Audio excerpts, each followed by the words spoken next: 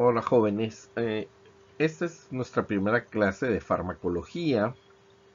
Entonces vamos, tenemos que empezar desde las bases. Vamos a hablar sobre los principios básicos de la farmacología. Eh, quisiera decirles desde ahora que farmacología es una materia que requiere mucho estudio.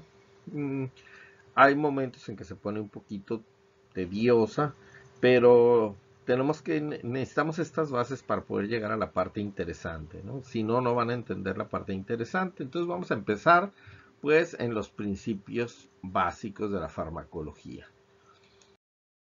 Eh, ¿Qué es la farmacología?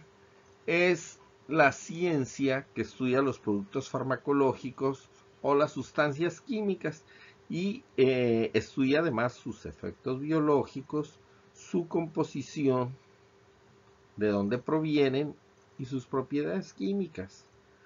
Eh, la farmacología es una rama de la biomedicina porque estudia los efectos biológicos y qué tan efectivos son los fármacos sobre las personas.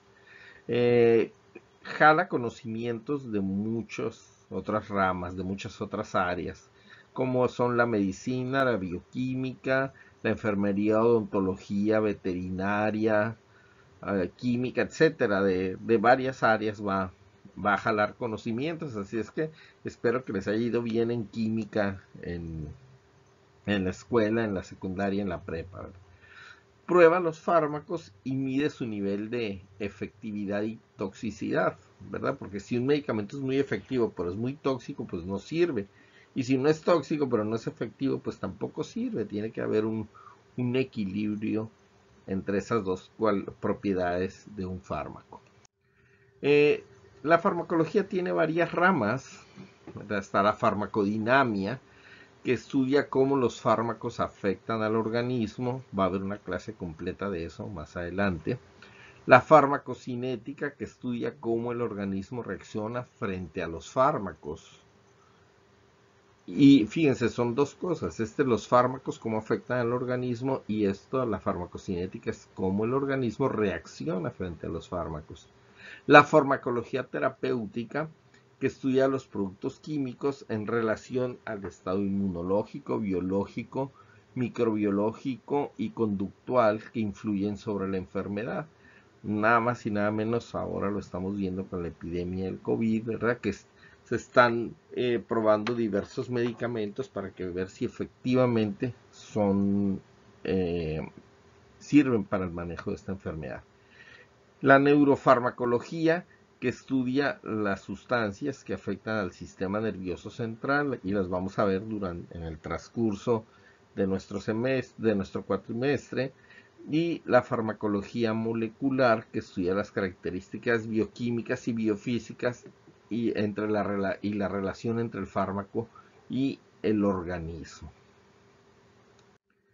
Eh, la farmacodinámica o farmacodinámica es el estudio del efecto del fármaco en el organismo. No lo olviden, esto es bien importante.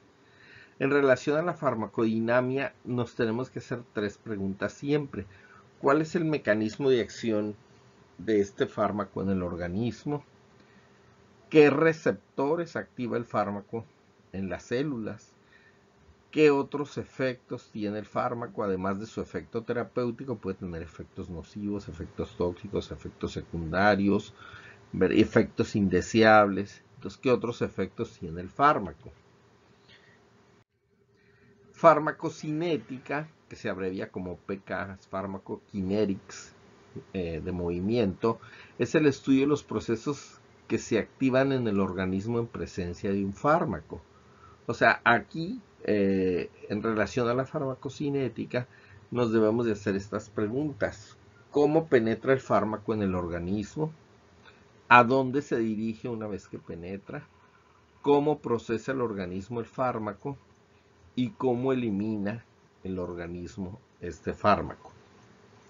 Entonces, esto es farmacocinética. Entonces, fíjense, por ejemplo, la farmacocinética, cómo el fármaco, cómo ingresa. Nosotros tenemos que, guiar por estas. Es A es absorción, D es distribución, M es metabolismo, E es excreción. Entonces, fármaco, cómo entra la absorción, cómo va a entrar. Aquí en este caso es una cápsula, va a entrar por vía oral. Luego, cómo se va a distribuir, a dónde se va a dirigir, quién lo va a transportar. Hay proteínas o hay transportadores especiales. Una vez que llega al tubo digestivo, ahí se va a absorber y se tiene que distribuir. ¿Y a dónde se va a ir? Luego, la M, metabolismo, cómo se va a transformar. Prácticamente todos los medicamentos sufren transformación en el hígado. Por eso es que tenemos aquí esto. Entonces el hígado es un órgano muy importante.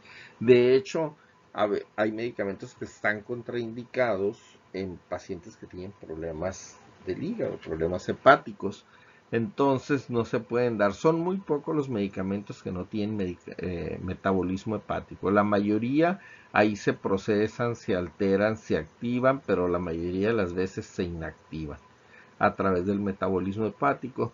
Y por último, la excreción, ¿cómo se va a eliminar? Se va a eliminar por tubo digestivo en las heces o bien se va a eliminar por vía renal a través de la orina. La mayoría de los eh, fármacos se eliminan por vía urinaria. Entonces, la absorción, tenemos que entender qué procesos controlan la absorción. Esto es fundamental para el desarrollo de los fármacos, porque si yo tengo un fármaco muy, muy efectivo in vitro, o sea, en condiciones de laboratorio, ¿verdad? En tubos de ensayo, en placas especiales, ahí vemos que es muy efectivo contra las bacterias, que las mata todas y todo, pero si no tengo manera de entregarlo al organismo, cómo se va a absorber, qué tal que no se absorbe, qué tal que el ácido del estómago lo destruye, qué tal si es muy tóxico para ponerlo intravenoso. Entonces, ahí es precisamente tenemos que entender la absorción.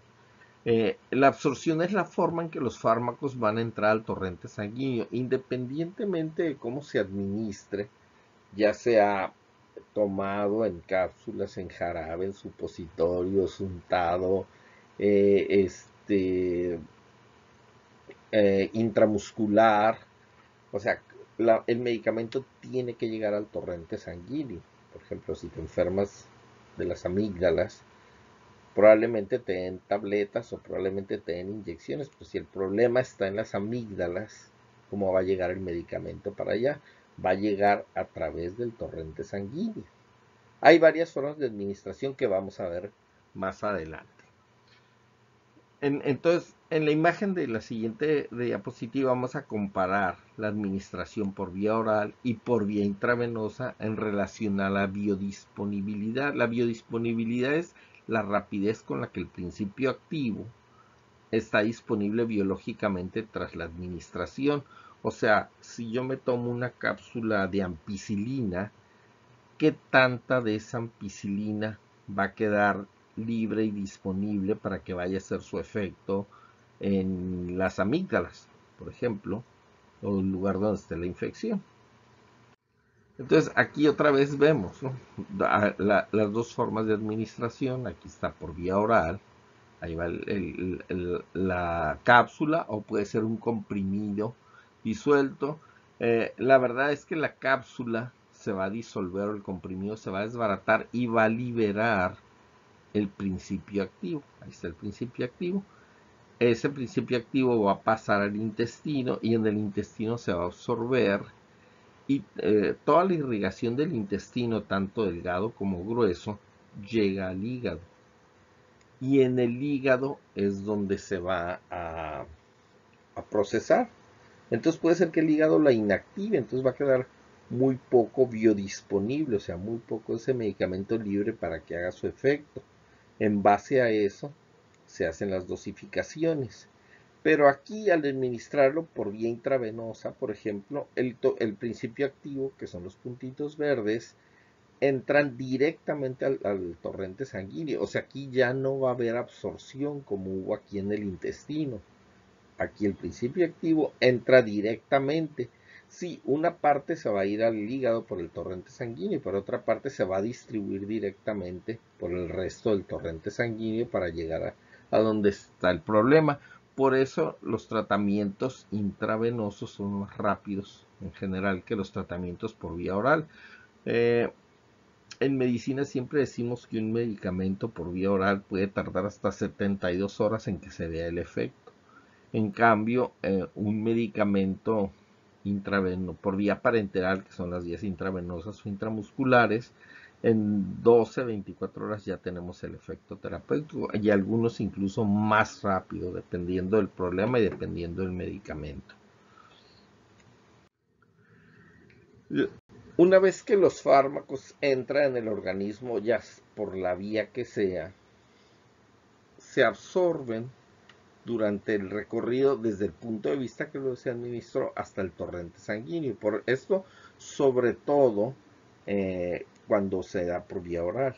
Entonces, la distribución es la forma en que se distribuyen, válgame la redundancia, los fármacos en el organismo. Entonces, ¿qué tanto se distribuye? Depende de qué propiedades físicas y químicas tiene el, el fármaco desde el tamaño de la molécula, la polaridad de la molécula, es positiva, es negativa, eh, qué tantos componentes tiene la molécula, qué tantos elementos hay, es una molécula grande, es una molécula pequeña y eh, qué tanto se une a las membranas celulares. Entonces sí tiene que ver mucho esas propiedades del fármaco para ver su distribución. Eh, algunas de las vías de administración de fármacos, más adelante vamos a dedicarle una clase a esto, son la vía oral, que es la ingestión del fármaco.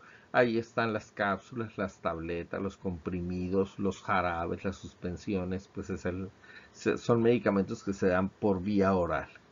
La intramuscular, que es la inyección en un músculo, por ejemplo en el brazo, en el deltoides o en el glúteo, Puede ser, normalmente en el glúteo se ponen los antimicrobianos, pero en el brazo puede ser, por ejemplo, una vacuna. La vía subcutánea, que es la inyección justo debajo de la piel, en el tejido celular subcutáneo, es el tejido eh, graso que está por debajo de la piel. Eh, la vía intravenosa, que es la introducción del fármaco por un acceso vascular al torrente sanguíneo. La vía intravenosa tiene la ventaja de que no requiere absorción. Estamos introduciendo el fármaco directamente al torrente sanguíneo. Y la vía transdérmica, ahora hay muchos medicamentos que se, dan, eh, que se administran como parches que están impregnados de, de la sustancia activa que va en un vehículo especial que es absorbido por la piel y hace su efecto. Así hay parches de medicamentos anticonceptivos, hay parches de medicamentos para el corazón, son los, más utilizados, ¿verdad? Eh, por esta vía. Y eh, la cuestión es que el fármaco debe llegar al objetivo previsto. De alguna forma debe distribuirse y llegar a donde precisamente a donde nosotros necesitemos que llegue. Entonces ahí tenemos diversas vías de administración. Puede ser inhalado a través de los pulmones y se absorbe o tiene su efecto ahí. Oral, como habíamos dicho, cápsulas, comprimidos, tabletas, pastillas, jarabes, suspensiones. Eh, tópicas son las cremas, ¿verdad? por ejemplo, te quemas, te una crema tópica. Esas por lo general tienen su efecto local ahí mismo. La vía intravenosa es medicamento que se aplica directamente o se diluye en suero y se pone directamente al torrente sanguíneo. O la vía intramuscular, que puede ser aquí, por lo general en deltoides, no sé por qué está la, la jeringuita ahí, o en glúteo, incluso en un muslo, puede ser.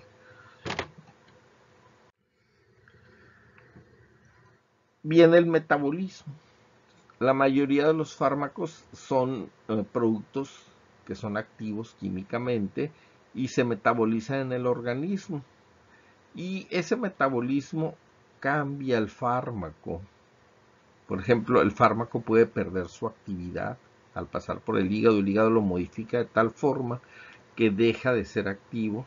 O bien hay medicamentos que se administran como profármacos. Entonces, cuando sufren el metabolismo en el hígado, el hígado los activa aumenta la actividad. A veces son medicamentos tóxicos y el hígado los reduce su toxicidad. O hay ocasiones en que aumenta la toxicidad del, del medicamento. Entonces, el paso por el hígado tiene muchas consecuencias, algunas buenas, efectivas como esta, otras indeseables como esta y otras francamente indeseables como esta. Entonces el fármaco a través del metabolismo puede unirse a otros compuestos, eso se llama conjugación y puede formar un compuesto más estable que tenga su acción terapéutica o bien puede eliminarse ya sea por vía intestinal, o sea la bilis del hígado eh, se sale a través de la bilis, se vierte al intestino y en el intestino se elimina a través de las heces fecales. O bien puede convertirse en un compuesto soluble en agua y a su paso por el riñón es filtrado y ahora se va a eliminar por vía urinaria. Y finalmente la excreción, eh, que es eh, una serie de vías por la cual los fármacos se excretan y se excreta no solamente el medicamento, sino los metabolitos que se produjeron en el hígado, una vez que se cambió este medicamento, también se, se, se eliminan. Entonces puede ser la eliminación por vía renal, los riñones, o sea, a través de los riñones, a través de las heces fecales, a través del aire expirado, los pulmones, o a través del sudor, la piel. Hay otras vías secundarias que no, no, todos los medicamentos se eliminan por estas vías. Por ejemplo, la saliva o bien la leche materna. Esto es muy importante porque hay medicamentos que están contraindicados en la lactancia. Si la señora está dando leche a su bebé, puede ser que, tenga que suspender la lactancia o bien que nosotros tengamos que eh, cambiar el medicamento porque se elimina por leche materna y puede afectar a, su hijo. Entonces, eh, aquí en este diagrama vamos a describir los objetivos que tienen los investigadores durante la fase no clínica de descubrimiento de fármacos. O sea, por ejemplo, ahorita lo estamos viendo con la epidemia hasta el COVID. ¿verdad? Hay muchos fármacos que se están probando, muchos, muchos, hay muchos laboratorios a nivel mundial, cientos, que están probando diversas sustancias para ver si son efectivas. Entonces, los medicamentos por cuestiones éticas no se prueban directamente en, los humanos. Primero se, se aísla una sustancia que se ve que es efectiva contra el microorganismo la bacteria, el virus, el hongo, lo que sea. Después se hacen pruebas in vitro en células animales, o sea, en cultivos de células animales. Ahí se hace la prueba para ver si no son tóxicas, si, si, la, si el medicamento destruye al virus o la bacteria, pero además destruye las células, pues no, ya se elimina, quiere decir que no va a ser bueno. Eh, una vez que se verifica su seguridad, se puede hacer la, prueba también en células humanas, pero in vitro, in vitro quiere decir en vidrio, o sea, en tubos de ensayo, en placas, placas especiales, las famosas placas de Petri, si se acuerdan de sus clases de química en la, en la secundaria, en la prepa, ¿verdad? Ahí también, si destruye las células humanas, el medicamento se descarta. ¿verdad? Pero vamos a suponer que no sucedió ninguna de estas dos cosas. Entonces vienen los estudios de farmacocinética. O sea, ¿qué, ¿qué, efecto va a tener el medicamento? ¿no? Eso se hacen en animales ya directamente. Se les administra, ya sea por vía oral, por vía parenteral, por vía intravenosa, el medicamento. Y se hacen los estudios de farmacocinética y farmacodinamia, cómo se metaboliza, cómo se excreta, crea productos tóxicos, hay toxicidad, hay efectividad, eso se hace en animales y ya se pueden hacer de esa manera predicciones para los primeros ensayos clínicos en humanos. Por ejemplo, ahorita hay mucho medicamento que hay reportes que nos dicen, este medicamento es efectivo contra el coronavirus en células de ratón o es efectivo para coronavirus en células de primate. Entonces a partir de ahí se extrapolan eh, esos resultados y se hacen predicciones para los primeros ensayos clínicos en humanos. De hecho, este, eh, estos pasos a veces toman años, años, dos, tres, cinco, diez años en, en realizarse.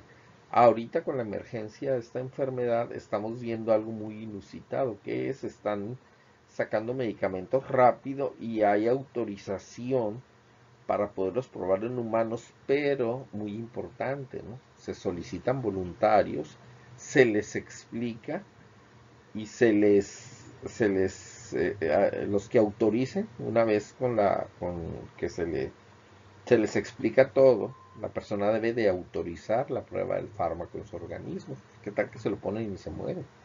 ¿Verdad? Pero ¿qué tal que se lo ponen y no se alivia? Pero qué tal que se lo ponen y luego le infectan con el coronavirus y resulta que no es efectivo y se muere el coronavirus. O sea, hay muchos riesgos. Las personas que se arriesgan a hacer esas pruebas son verdaderos héroes, porque son medicamentos que están eh, ahorita eh, siendo probados rápido. Procesos que tardan 5, 10, 15 años los están haciendo en semanas. Entonces, obviamente sí va a haber algunos problemas por ahí, pero las personas dieron su autorización. Entonces es bien importante, es lo que se llama consentimiento informado, se les informa a las personas todos los pros, todos los contras, todas las cosas que pueden suceder y aún así hay gente muy altruista que se ofrecen para que los medicamentos sean probados en ellos. ¿Qué es lo que miden, por ejemplo, la en la farmacocinética que miden. Aquí vamos a ver, esta es la concentración del, principio activo. Todo, toda esta área que está aquí es la exposición total del organismo al principio activo. ¿Verdad? Eh, por ejemplo, aquí está el tiempo cero. Y vemos que rápidamente subió a las concentraciones máximas, el tiempo de concentración máxima, pero fue rapidísimo. ¿Qué quiere decir? A esta persona se le dio el medicamento en forma intravenosa.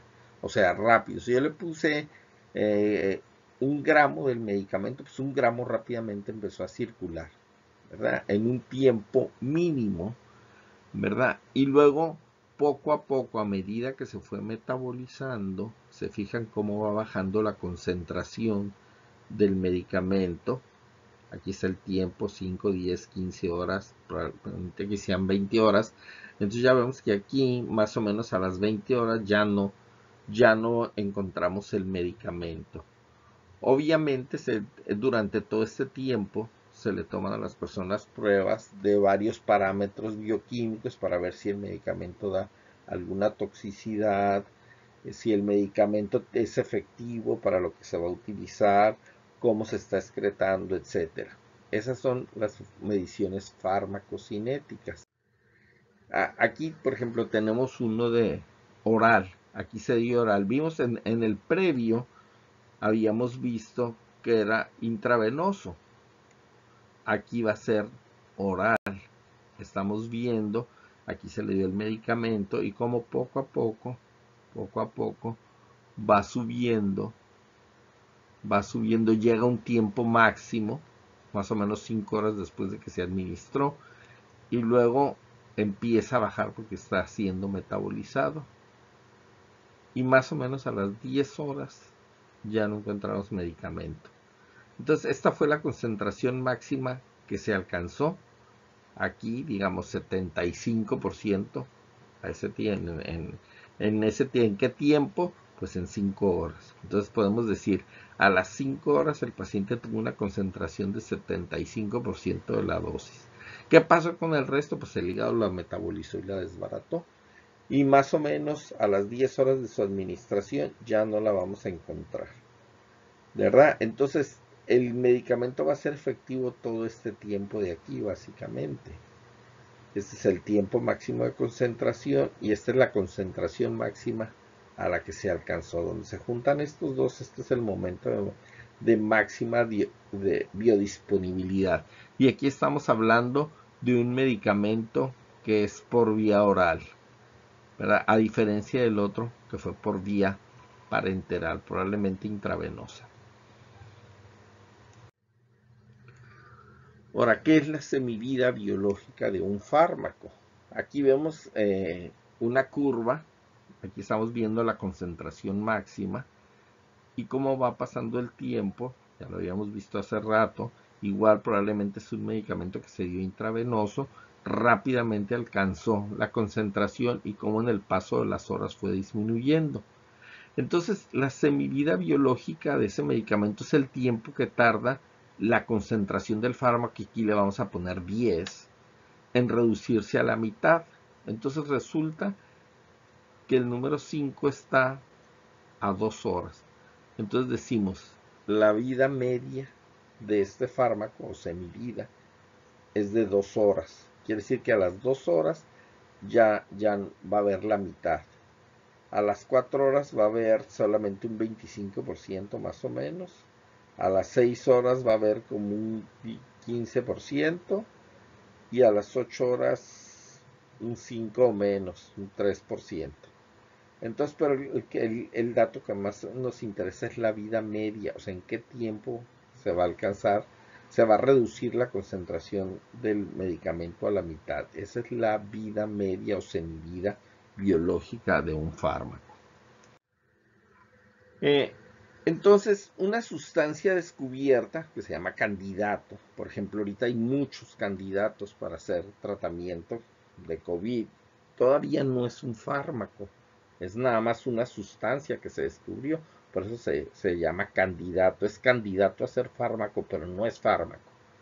Eh, entonces, es una sustancia que se descubierta o que ya tienen incluso algunos laboratorios tienen bancos grandes con cientos, miles de sustancias que en un momento dado quieren probar o van a probar, pero como les había dicho, a veces son medicamentos que tardan 5, 10, 15 años en desarrollarse. Ahorita estamos con esta emergencia mundial y están tratando de probar el, mayor número de fármacos posibles. Primero, que sean efectivos contra coronavirus y segundo, que no sean tóxicos contra, para, para los seres humanos.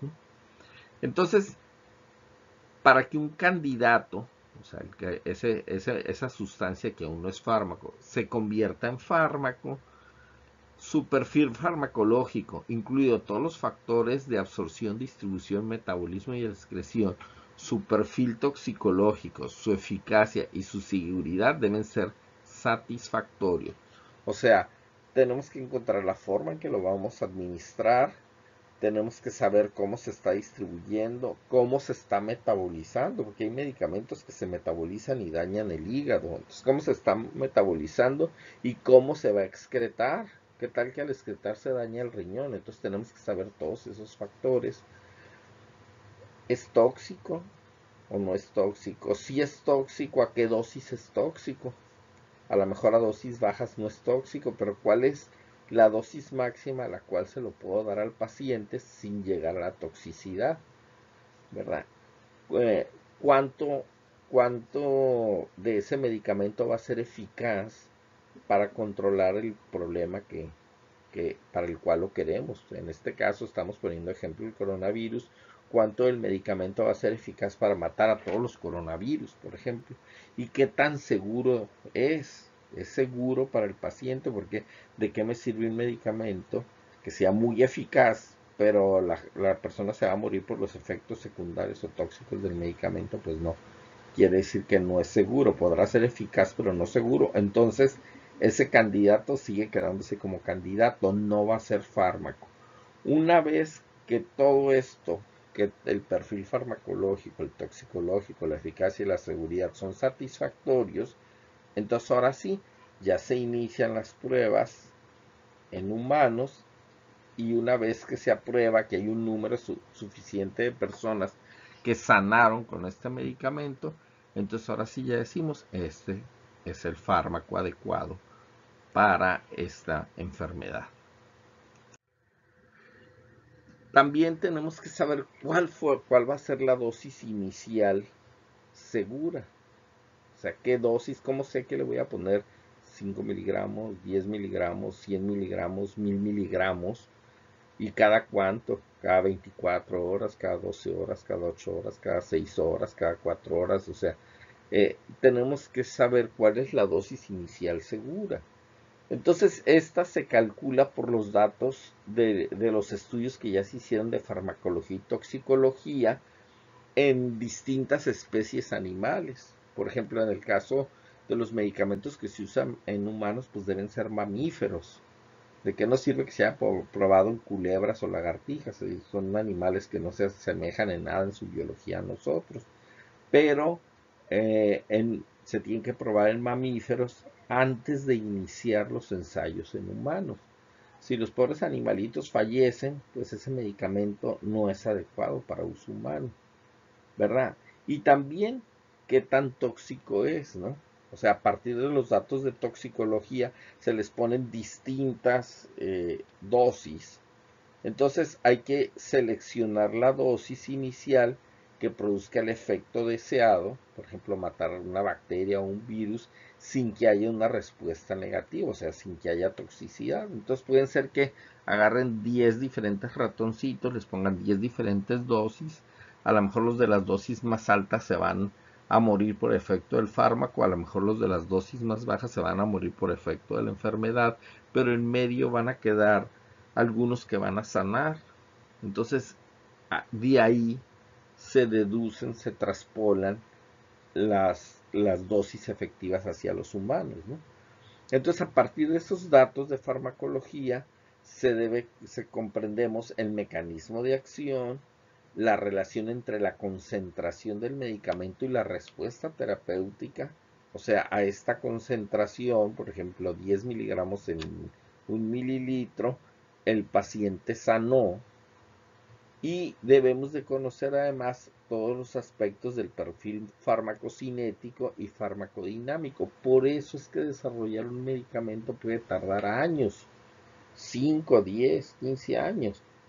Y por eso es que ahora en este momento de la historia se están haciendo esfuerzos extraordinarios para sacar un medicamento que sea eficaz contra el coronavirus, que no sea tóxico para el ser humano, y que sea efectivo eh, porque va a, eliminar a este virus. Entonces, la verdad es un esfuerzo muy grande que está haciendo la comunidad científica para sacar adelante este medicamento, el medicamento que sea efectivo.